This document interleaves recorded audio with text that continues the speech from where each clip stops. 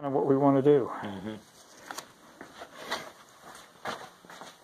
I guess the only other thing I can think that would be less invasive.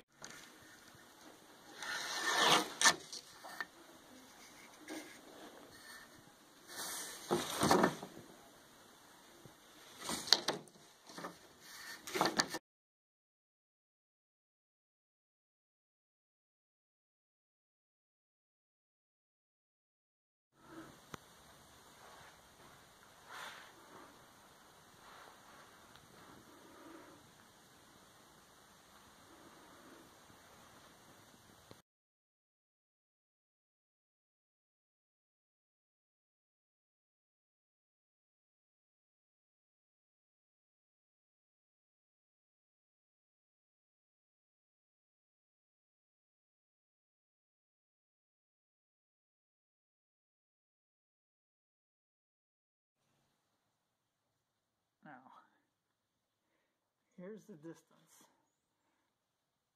between the inner stern strong back